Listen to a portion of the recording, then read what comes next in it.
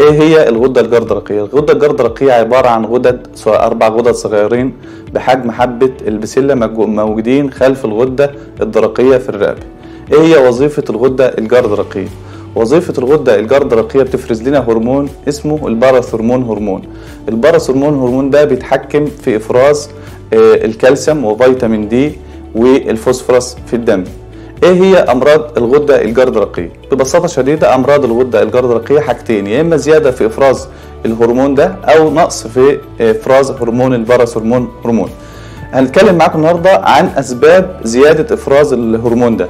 هي حاجتين ببساطة يا إما حاجة حاجة أولية راجعة للغدة نفسها يا إما ورم في الغدة أو زيادة في خلايا الغدة يعني بنسميه ال hyperplasia أو حاجة ثانوية راجعة لنقص الكالسيوم أو فيتامين دي فأدت إلى زيادة إفراز ال parathormone هرمون.